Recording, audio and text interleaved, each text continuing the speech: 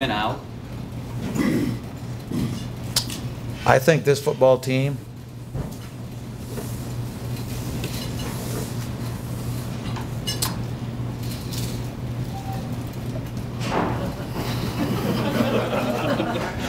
I just, I think this football team has a lot of upside right now.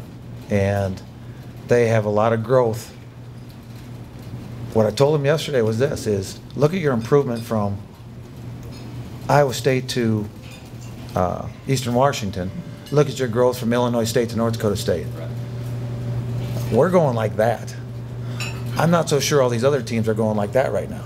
So that's why, but we've, we've got to get that momentum. We got to we got to be a little bit more consistent. We've got to keep that growth happening to continue to rise. So we, yeah, we're, we're going in the right direction because of how we're doing it.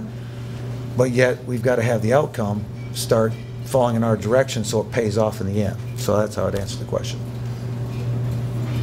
Um, uh, Back to this, this Saturday's game, how good is Nikko Watson, their running back? What, what kind of running back is he that you'll face this Saturday?